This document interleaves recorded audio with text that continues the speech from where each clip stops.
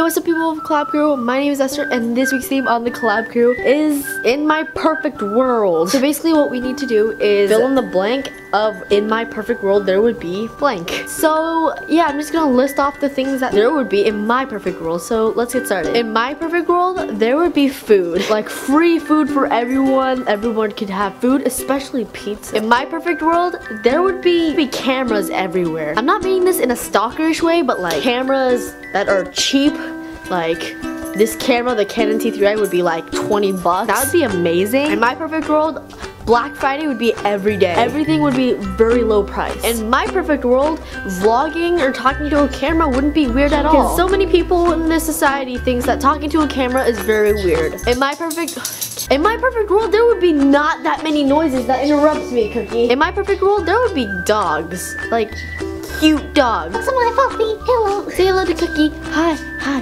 Cookie. Mm. No? Okay, you don't like In my perfect world, there would be Netflix. In my perfect world, fictional characters would be real. Percy Jackson, like, oh my god. In my perfect world, the demigod world would exist. In my perfect world, Tumblr would be Google. Yes. Everybody would be artistic. Everybody would be creative have their own original ideas. Don't steal anything.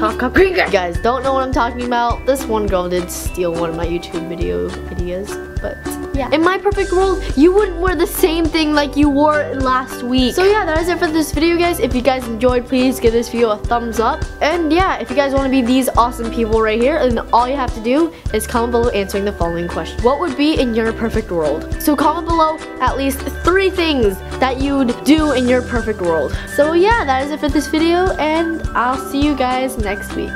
Bye!